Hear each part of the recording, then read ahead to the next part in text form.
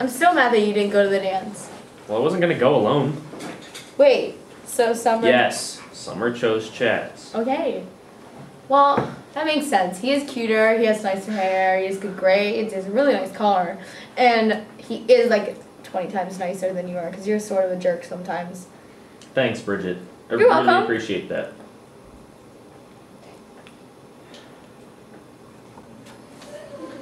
Dude, I really liked your dress. I'm so glad they voted you prom queen.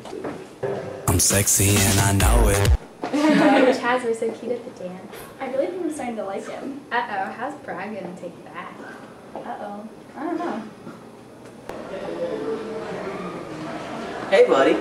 Buddy, What? you took my woman, Chaz. I'm not gonna let you get away with that.